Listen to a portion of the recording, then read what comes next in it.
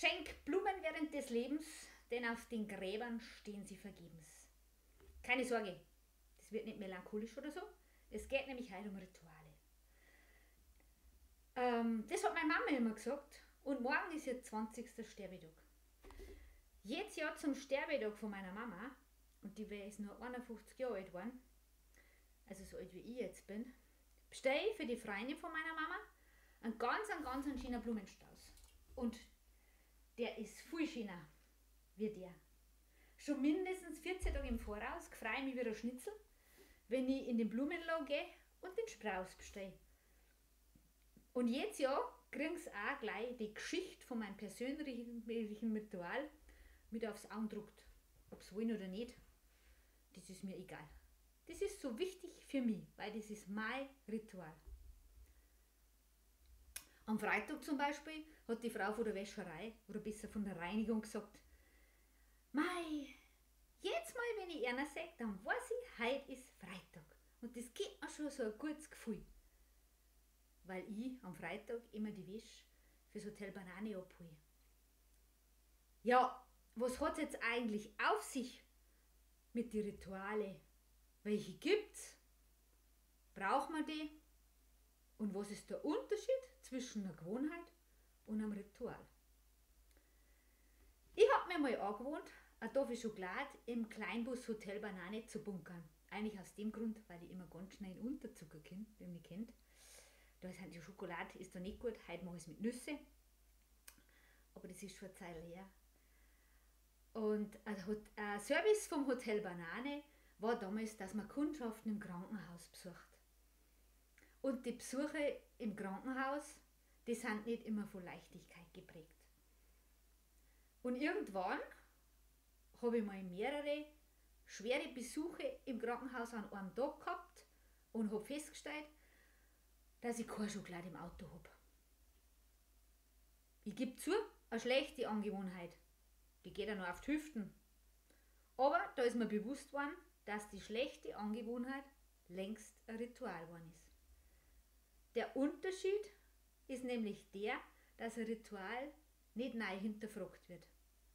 Und mit den Ritualen ist es so wie mit der Hausarbeit. Die merkt man erst, wenn es ausbleibt.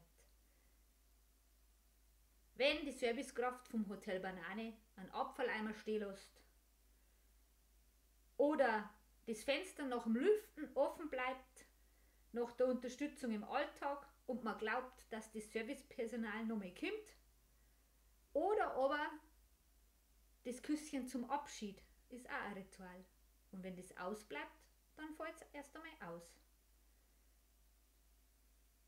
Dann ist es für einen selber zum Ritual geworden. Rituale geben uns Sicherheit, sie haben was Verlässliches.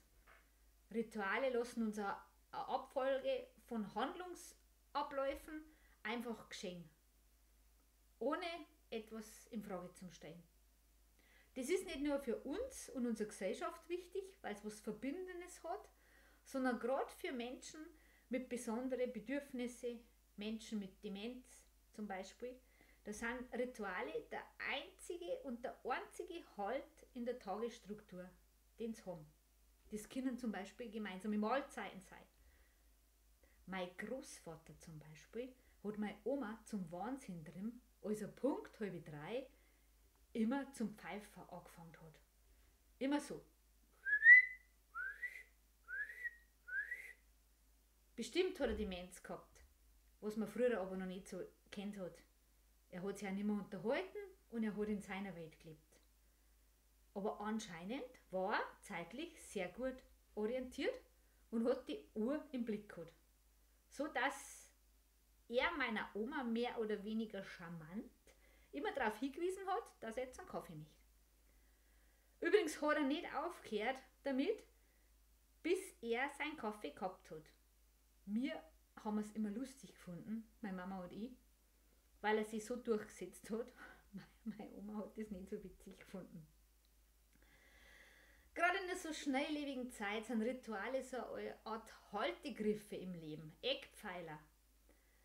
Wenn das tägliche Leben und die eigene Biografie immer wieder über so eine Welle zeitweise untergeht, dann sind Rituale genau diese Haltegriffe. Wie für mein Opa mit dem.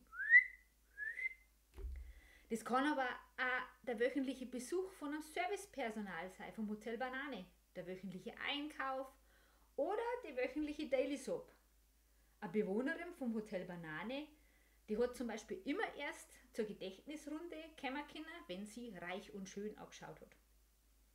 Und meine Schwester hat mir mal wutentbrannt angerufen und hat gesagt, stell dir vor, ich wollte Oma besuchen, aber die hat gesagt, jetzt nicht, ich muss erst GZSZ schauen. Jetzt muss man dazu sagen, dass meine Schwester zu der Zeit mehr im Ausland als im Inland war. Ähm, aber geholfen hat sie ja nichts. Sie hat warten müssen. Rituale können aber auch geprägt sein von der Biografie oder vom Zeitgeist. Damit meine das vorherrsch der vorherrschende Zeitgeist mit den Werte und Normen, die anerzogen worden sind. Zum Beispiel, dass man sonntags in die Kirche geht, dass man am Monatsende nimmer shoppen geht, weil das Geld erst am ersten kommt. Oder dass es am Freitag eine Milchspeis gibt, etc. etc. Solche Rituale lässt man besser so stehen und bringt nichts durcheinander. Eben bei Menschen mit besonderen Bedürfnissen oder einer Demenz. Ich habe auch da eine Geschichte dazu. Bei meiner Großmutter ist jeden Mittwoch der Limo- und Biermann gekommen. Den kennt ihr alle. Der bringt übrigens auch Wasser, aber der heißt einfach im Volksmund der Limo- und Biermann. Der kommt einmal in der Woche oder alle 14 Tage. Dieser Limo und Biermann war ein fester Bestandteil in der Woche, ein Fixpunkt, der für meine Oma ganz, ganz wichtig war. Da ich leider nur an diesen einen Mittwoch Zeit gehabt habe für meine Oma, habe ich es echt bequatscht, dass sie mit mir ausnahmsweise einkaufen geht an dem Tag. Was soll ich sagen? Das war eine große Katastrophe. Die Oma hat die ganze Zeit an den Limon Biermann gedacht und ob er auch alles richtig hinstellt, was er natürlich nicht da hat. Und gleichzeitig hat Oma die Hälfte vergessen beim Einkaufen. Also, Fazit, fehlgeschlagen auf ganzer Linie. Das heißt, es muss feste Bräuche geben. Es gibt jahreszeitliche Rituale, es gibt zeitliche Rituale und es gibt auch Übergangsrituale. Übergangsritual zum Beispiel vom Tag zur Nacht, wenn man sich Zähne putzt. Es kennt man von kleinen Kindern, ein Kuscheltier mit ins Bett muss, was vorgelesen werden muss. Das kann ein Übergangsritual sein. Ähm, Rituale geben uns Sicherheit und lassen uns für eine kurze Zeit in dem zur Ruhe kommen. Jetzt werden manche sagen, ach geh,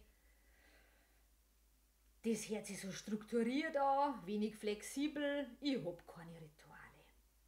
Dann muss ich euch sagen, das stimmt so nicht. Schaut einmal genau hin. Was ist denn, was passiert denn, wenn ihr verschlafen habt, ohne Kaffee aus dem Haus geht? Oder wenn ihr in die Arbeit kommt und der neue Kollege mit deinem Hafer Kaffee da sitzt und trinkt, weil der gar nicht weiß, dass das dein Hafer ist. Was ist denn, wenn der Limo und Biermann nicht kommt? Oder wenn die Daily Soap zwecks Katastrophenmeldung ausfällt und die nicht in der Mediathek oder bei Netflix zum Schauen ist? Gerade jetzt, wo seit gut einem Jahr alles Kopf steht, sämtliche Rituale wegfallen. Angefangen von zweimal in der Woche ins Fitness oder wie ich zum Beispiel zweimal in der Woche schwimmen gegangen bin, bis hin zu den Gottesdienstbesuche, Familienfeste, religiöse Bräuche, wie Allerheiligen zum Beispiel. Genau dann merken wir, wie wichtig das für jeden Einzelnen für uns ist und welche Herausforderung das bedeutet, gerade für Menschen mit besonderen Bedürfnissen, wie Menschen mit Demenz, Menschen mit Trisomie, Menschen mit Autismus und Menschen mit Depressionen was da an Haltegriffe wegfällt für die Leute. Denn Rituale erlauben uns die einfache Abfolge von Handlungen und lassen uns darin zur Ruhe kommen.